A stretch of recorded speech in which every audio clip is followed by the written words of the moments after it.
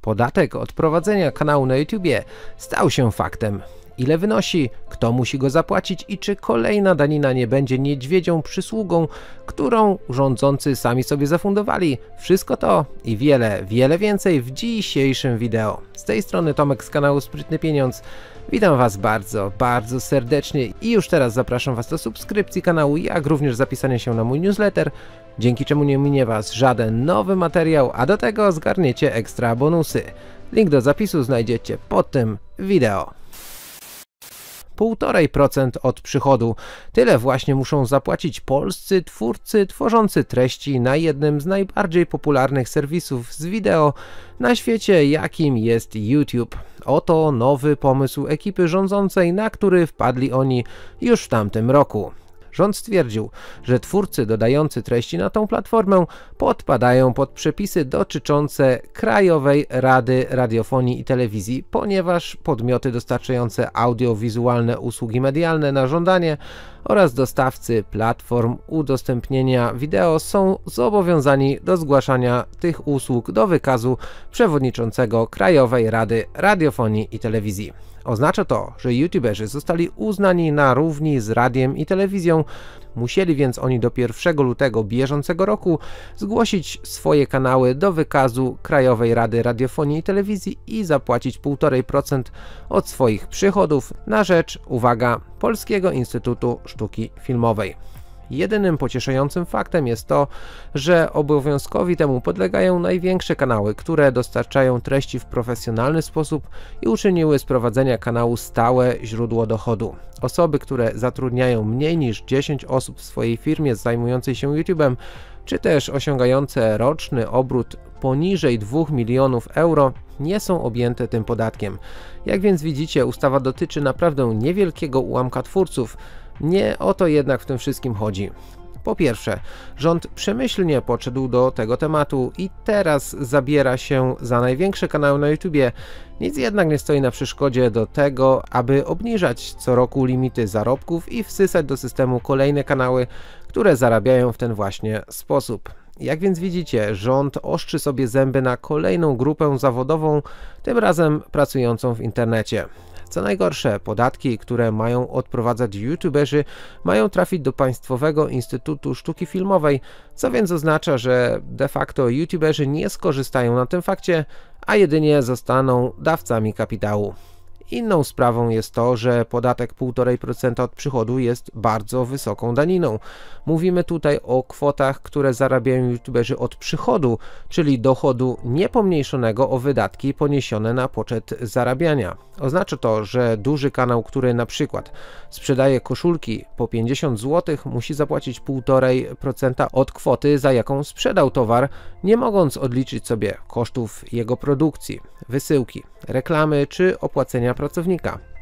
Jeżeli dodamy do tego inne podatki, jak chociażby VAT, podatek dochodowy, składkę zdrowotną czy ZUS, okazuje się, że obciążenia stają się jeszcze bardziej dotkliwsze. A wszystko to dzieje się w roku, który jest niezwykle trudny dla każdego z nas. Szalejąca inflacja czy też zawirowania na arenie międzynarodowej sprawiają, że czasy są niepewne, a to oczywiście przekłada się na decyzje zakupowe Polaków. Co jednak ciekawe, rząd nie przewidział jednego. Otóż uderza on w grupę osób, która ma jedną z najpotężniejszych broni, jaką posiada ówczesny człowiek, czyli uwagę drugiego człowieka. Wyobraźmy sobie taką hipotetyczną sytuację, w której wszystkie największe kanały, które mają płacić podatek, skrzykują się i w jednym momencie emitują to samo wideo, w którym nawołują do wyjścia na ulicę i masowych protestów. Rząd w jednej chwili ma bardzo poważny problem, ponieważ młodzi, często zbuntowani ludzie w jednej chwili mogą bardzo szybko się skrzyknąć i narobić niezłego bałaganu, który może przerodzić się w coś znacznie poważniejszego. Oczywiście to tylko teoria, ale nie jest ona wcale trudna do zorganizowania i urzeczywistnienia. Jak więc widzicie, rząd zapędzając się w swoim owczym pędzie poszukiwania coraz to nowych źródeł dochodu, po to, aby finansować kolejne socjalne obietnice, jak chociażby 14 emeryturę, o której słyszeliśmy nie tak dawno, zaczyna tak mocno przykręcać śrubę, że ta może w końcu się urwać. Ogólnie widząc sytuację, jaka ma miejsce od nowego roku 2022, widzę, że polityka rządu zaczyna się, delikatnie rzecz biorąc, wymykać spod kontroli. Najlepszym przykładem są chociażby pracownicy ZUS, którzy rozpoczęli protest związany z tym, że nowy ład obniżył ich pensje. Oczywiście to nie jedyna grupa, która protestuje. Nie narzekają jedynie posłowie, którzy otrzymali stosowną ulgę dającą im preferencyjne warunki otrzymywania wynagrodzeń. Wracając jednak do podatków, nie jestem ich przeciwnikiem. Powinny one być jednak po pierwsze niskie, po drugie przejrzyste. Jedna danina od dochodu załatwiłaby całą sprawę. Rządzący wolą jednak uchwalać setki tysięcy stron ustaw, których gubią się nawet oni sami, niż stworzyć prawo proste i dające szansę na rozwój. Politycy nie potrafią zrozumieć jednej sprawy. Ludzie nie kolekcjonują pieniędzy i jeżeli mają ich pod dostatkiem, to je wydają lub inwestują, a dzięki temu cały kraj się rozwija. Czy gdyby ludzie mieliby więcej pieniędzy w swoich portfelach, to nie stawialiby domów, nie zmienialiby samochodów na lepsze, czy nie jeździliby na wakacje? Przecież to jest aż tak proste. Polacy chcą zarabiać pieniądze, chcą je też wydawać. Kolejne jednak obciążenia, jakie serwowane są przez ekipę rządzącą, skutecznie zniechęcają ludzi do zakładania własnych biznesów i ogólnej przedsiębiorczości. Bez nowych firm nie ma rozwoju, nowych miejsc pracy, postępu i dobrobytu.